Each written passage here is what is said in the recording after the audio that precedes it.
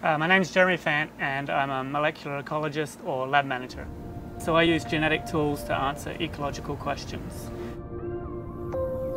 I've always been fascinated in nature. As a kid, my most vivid memory was watching a TV program in Australia about a frog which lives in the dry arid regions.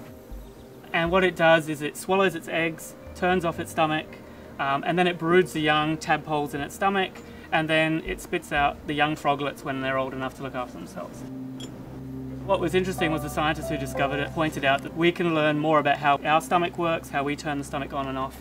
It's not only a cool frog, it has potential to be very useful to us.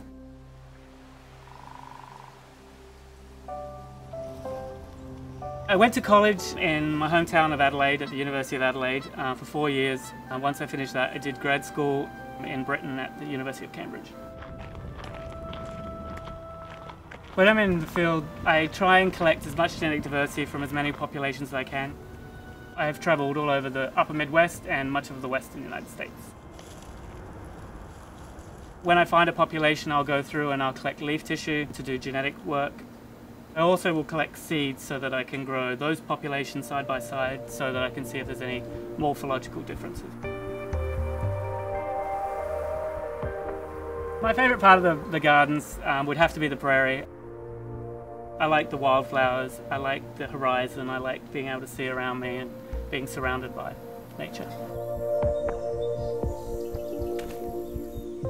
Biological diversity is enormous. All animals or insects depend on plants. Um, they're the center of all ecosystems. I got interested in science watching a TV program about a frog. The sad end of that story is the scientist went to look for that frog again. He went to look for the frog and it's now extinct if we want to conserve everything, plants are important.